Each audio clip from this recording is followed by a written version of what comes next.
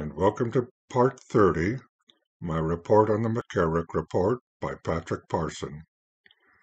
We are now on page 87 of the McCarrick Report in Chapter 9, beginning with Section D, Incident at a Newark Catering Hall, January 1990. We've already seen Sections A, B, and C, which described reports by specific victims of McCarrick. This section describes an incident witnessed and discussed by a priest along with two bishops on January 25, 1990, when McCarrick was Archbishop of Newark. In 1990, Monsignor Bottino was vocation director under Bishop McHugh, who had been consecrated a bishop by McCarrick in 1988.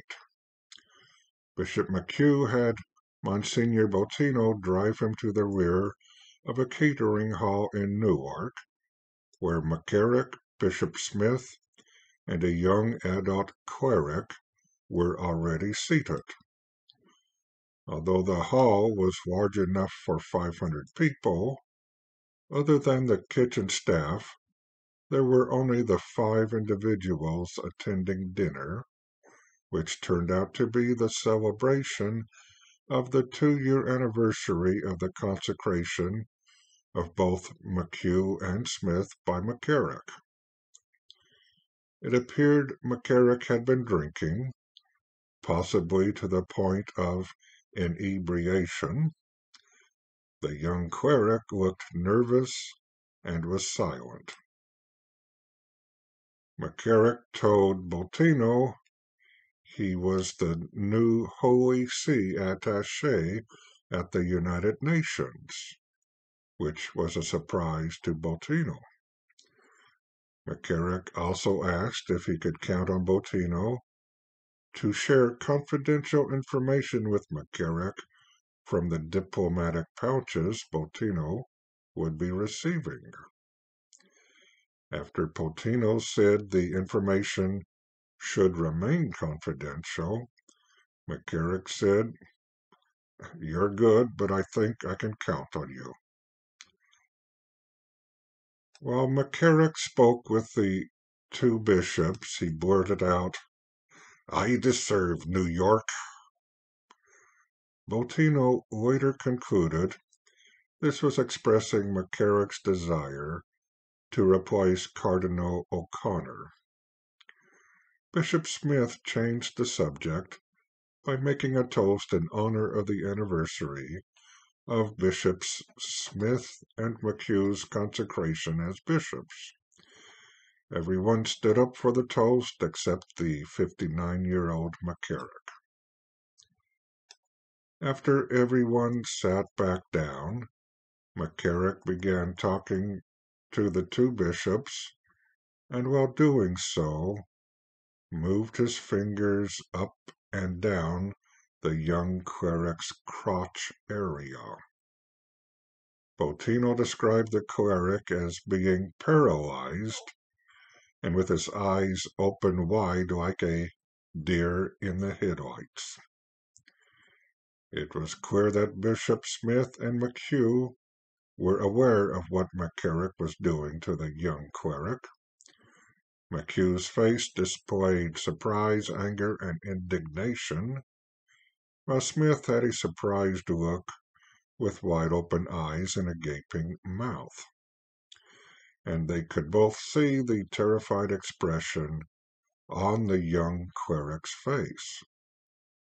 Looking at Bottino, Bishop McHugh crunched his eyes as a signal not to say anything. After twenty minutes, McHugh and Bottino left, it being clear to everyone, except perhaps for McCarrick, they were leaving because of McCarrick's actions with the cleric. McCarrick tried to convince them to stay for dinner, saying he had room for them to sleep overnight in Newark, but McHugh declined. As they drove away, McHugh commended Bottino for the way he handled what he had seen at the table.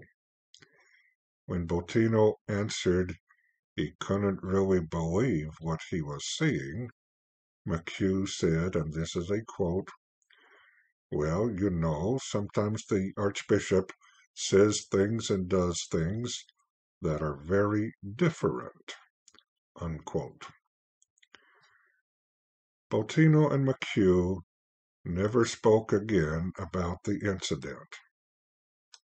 Bottino informed his spiritual advisor, now deceased, about it a week later to express how disturbed he was by what happened, but talked to no one else in hierarchy about it until 2018, when describing the incident in a letter to Apostolic Nuncio Archbishop Christophe Pierre, stating his purpose in writing was partially to assist the Church in the then current situation with McCarrick, and to, quote, relieve any burden of conscience that I had about the incident, unquote.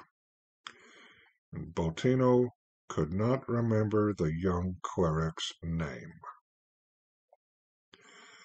There is no evidence that either Bishop Smith or Bishop McHugh reported the catering hall incident to any Holy See official. And that concludes Chapter 9 of the McCarrick Report. We will use our next segment to highlight what we found in it and see what conclusions we can draw. Although one conclusion we can draw already is our ever present need for protection and forgiveness, which we may request with the Fatima prayer. My Jesus, forgive us our sins Save us from the fires of hell, and lead all souls to heaven, especially those in most need of thy mercy.